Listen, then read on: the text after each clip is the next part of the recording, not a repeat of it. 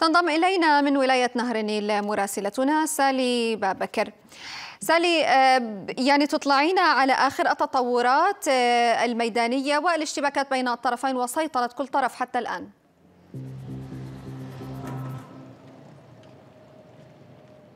نعم لينا بالفعل يعني الاشتباكات لا زالت محتدمة بين الجيش والدعم السريع في أجزاء واسعة من العاصمة الخرطوم.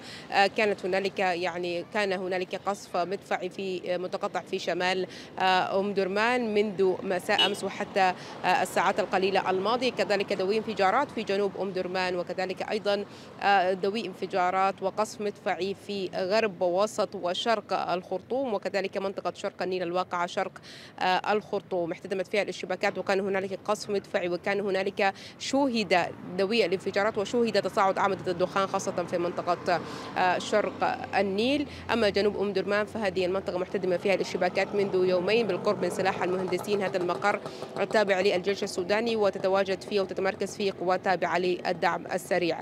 كذلك أيضا هجوم الحركة الشعبية شمال فصيل عبد العزيز الحلو على القوات المسلحة وتصدي القوات المسلحة لها في جنوب الكرمك بولاية النيل, النيل الأزرق. وهذه المرة الثانية كانت قبل يومين هنالك هجوم أيضا لذات القوات التابعة للحركة الشعبية.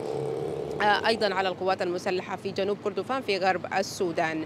طيب. يعني هذه الحركة التي يعني بحسب المصادر أنها لم تشتبك مع الجيش السوداني منذ أكثر من عشرة أعوام ولكن يعني مناصري الجيش لا يعني لا يرون إذا كانت هذه استغلال للأزمة الحالية من قبل هذه القوة أم إنها هي يعني تتبع لخط قوات الدعم السريع. ولكن بحسب طيب.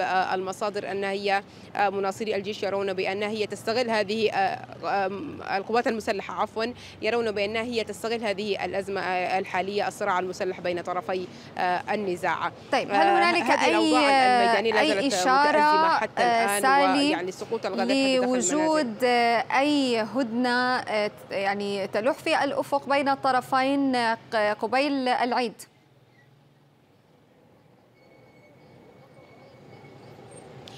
نعم يعني بحسب المتابعات بين هنالك محادثات بين ممثلي طرفي الصراع للاتفاق على هدنة جديدة تستمر طيلة أيام عيد الأضحى المبارك ولكن حتى الآن لم تصدر لم يصدر أي بيان أو يعني أي بيان أو تصريح رسمي من أي جهة رسمية حتى الآن ولكن من المتوقع أن تكون هنالك هدنة طيلة أيام عيد الأضحى المبارك. شكرا لك سالي بابكر كنت معنا من ولاية نهر النيل.